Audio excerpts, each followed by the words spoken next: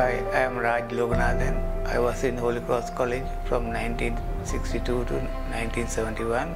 I am the current president of Holy Cross College Old Boys Union of Colombo branch. It's nice to see the Old Boys Unions of Holy Cross College Kalutara and Maris Stella College Negombo getting together and rekindle past glories.